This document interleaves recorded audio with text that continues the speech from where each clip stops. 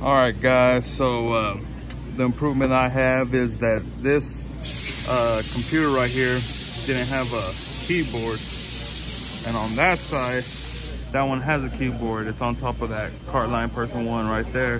So what I did was I found, well, with the help of Sam, I found this keyboard right here.